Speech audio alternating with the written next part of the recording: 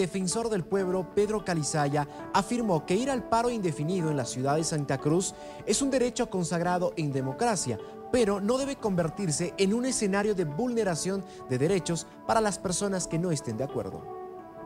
En el tema de, Santa Cruz, para nosotros, en un ámbito de, eh, de construcción y fortalecimiento democrático, todas las expresiones de eh, opiniones diversas son respetables.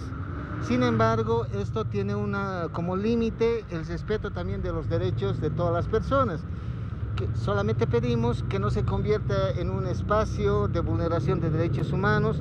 El ejercicio de la, de la protesta, de la opinión diversa es legítimo en la medida, reitero, que no vulnere derechos.